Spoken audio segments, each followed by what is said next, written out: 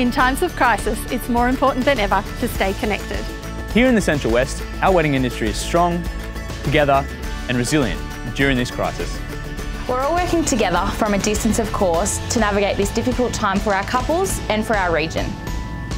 In amongst everything that is going on, we're taking time to appreciate and find beauty in the simple things. We're grateful for rain. Our region's looking the best it's been for months. The grass is green and the dams are starting to fill. We are grateful for the colour. Our streets are filled with the most glorious autumn leaves and our beautiful sunny days are finishing off with the most spectacular sunsets.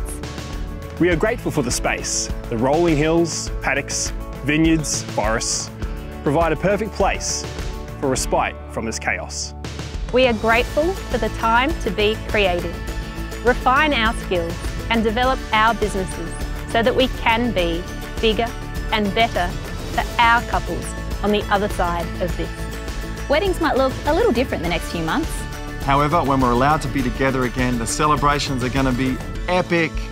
Our group hugs will be stronger, our collective smiles will be wider, and our shared laughter will be so much louder.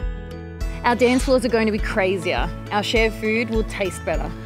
Our sparkling will be bubblier, and our spirits will be brighter.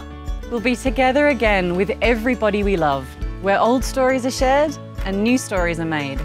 We don't know when the restrictions will be lifted, but know that we will all be here for you, refreshed and reinvigorated for the biggest, brightest celebrations. When your wedding day does happen, it's going to be so much more special having survived this challenge to get there. All of us who work on weddings here in the Central West will be more excited than ever to help you celebrate your love on the other side of this. We're all in this together.